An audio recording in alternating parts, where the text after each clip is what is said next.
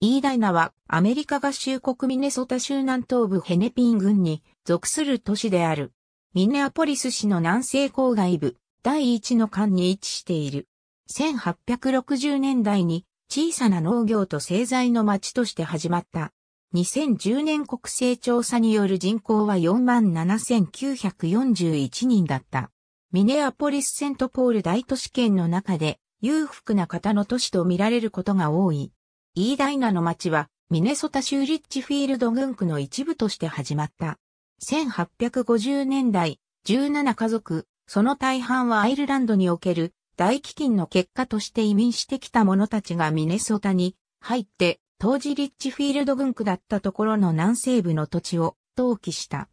その後にイングランドやスコットランドの農夫が続き、ミネハハクリーク近くの土地を登記した。ベアード地区とグライムズ地区、及びカントリークラブ、地区がイーダイナの北東部にあり、町になった最初期のものである。1888年軍区の住人が集会を開いて、リッチフィールド軍区から分離して、新しい村の設立を検討した。この考えは町の中で受け入れられ、移行を監督する委員会が作られた。新しい村を作ることが決められた後、その名前について議論が続いた。ミネハハグランジホールで数回の町民集会が開かれ、その時にヘネピンパーク、ウェストフィールド、及びイーダイナが候補に上がった。農夫で後にイーダイナミルの所有者になったヘンリー・カイ・ブラウンが取った議事録によれば次のようになっていた。次の集会でイーダイナという名前が賛成47票、反対42票で可決された。この新しい村を言いたいなとした決断について、伝承が生まれた。アイルランド人が優勢なカヒルの地域社会と、スコットランド人が優勢なミル地域社会が、アイルランド風の名前とするか、スコットランド風の名前とするかを争った、というものである。しかし、1860年の国勢調査では、スコットランド系住民がいなかった。イーダイナが設立された1888年でも一組のスコットランド系住民がいただけだった。イーダイナの町は昔、サンダウンの町と認識されていた。当時は他にも同様な町が多かった。非公式に一人のニグロも一人の銃もいないという言い方があった。実際に白人の大半は人種分離が望ましいと考えていた。第一次世界大戦が終わった後でサミュエル・ソープが優美な偉大なカントリークラブ地区を開発した。この地区は、偉大なのアフリカ系アメリカ人少数者が遠ざけられていると感じるようになることを期待して、制限付き土地上と条項があると知られていた。この条項は1950年代までユダヤ教信徒にも適用されていた。条項の典型的な表現は次のようなものだった。白人、すなわち高架殺人以外のものに、いかなる区画も売却、転記、貸与、賃借させてはならない。すなわち白人、すなわち、高架殺人以外のものに、いかなる区画も使用させたり占有させたりしてはならない。ただし当該区画の所有者あるいは賃借者のために、奉公人として使える場合で、その所有者あるいは賃借者がそこに住んでいる場合を除く。すべての制限は第8条を除いて1964年1月1日に、現在のイーダイナでは、サンダウン政策も人種分離も残っていない。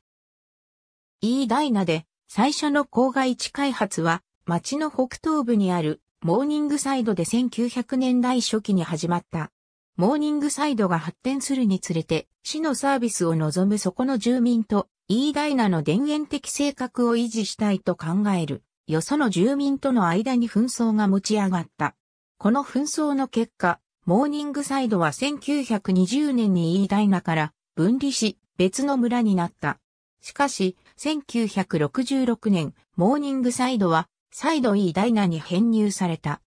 今日、イーダイナ市の通りの多くが、この地域にあった農場所有者の加盟を付けられている。例えば、グライムズアベニュー、コードアベニュー、クリアソン道路、クーパーアベニュー、ハンセン道路、ワイマンアベニューなどである。イーダイナはミネアポリス市郊外で裕福な方の都市という評判がある。市民は裕福者と考えられ、かつてはケーキを食べる人と嘲笑的に呼ばれたこともあった。これはマリ・アントワネットが発言したと誤って引用される。彼らにケーキを食べさせればいいを引用したものだった。この言葉は、現在、地域のスポーツに関するライバル関係にふざけて用いられる。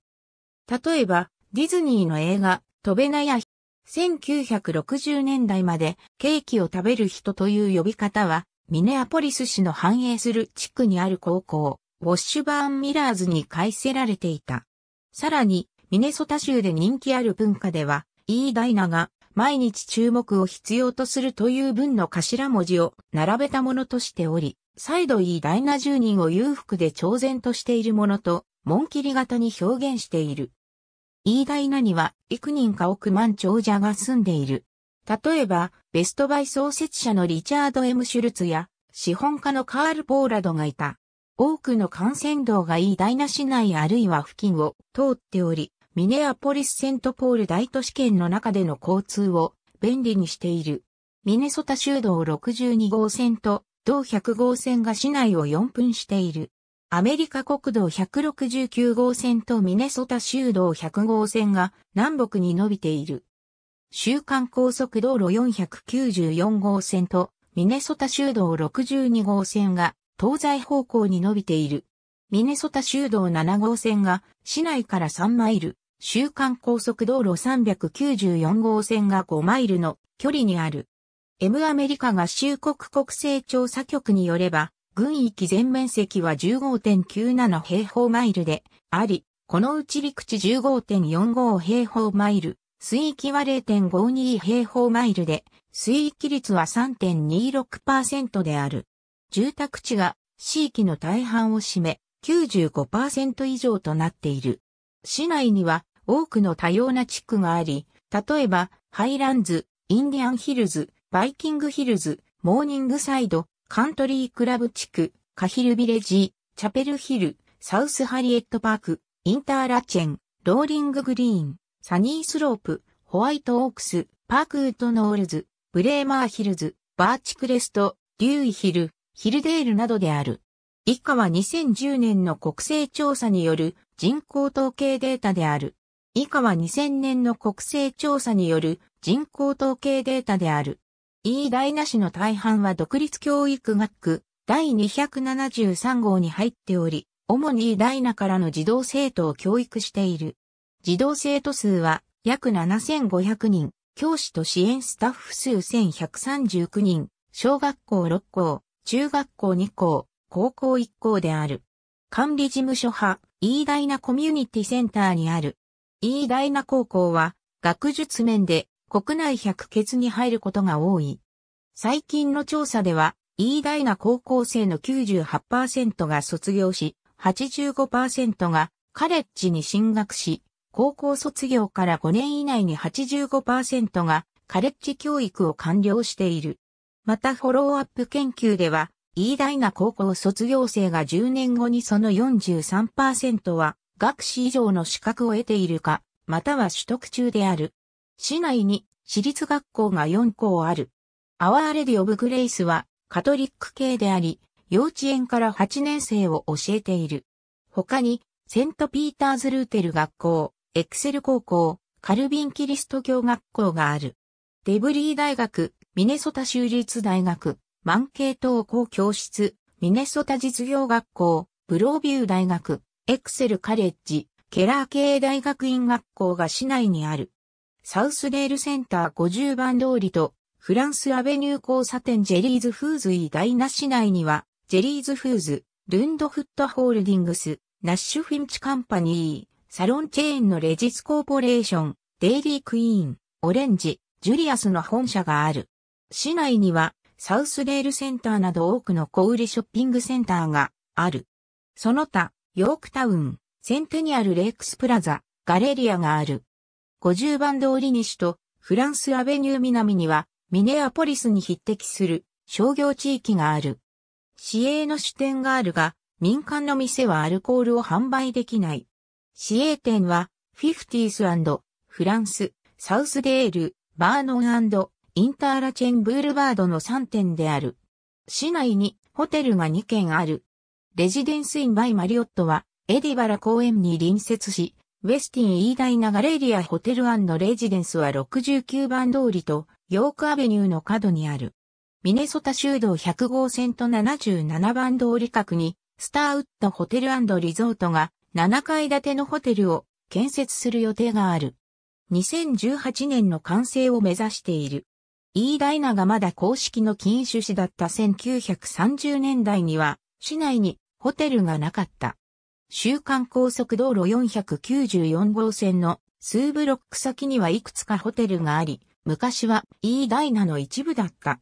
住民請求によってブルーミントンに並行され、アルコール販売が可能だった。イーダイナ市の2011年、包括的財務報告書によれば、市内の主要雇用主は次の通りである。ブレーマーゴルフコース12番ホールを見下ろすイ、ダイナ市の公園と開放空間は合計1550エーカーある。イーダイナ市公園レクリエーション部は44の公園を管理し、野球、フットボール、サッカー、ソフトボールの各球場、バスケットボールとテニスのコート、屋外スケートリンク、幼児用遊戯場、ピクニック場などを用意している。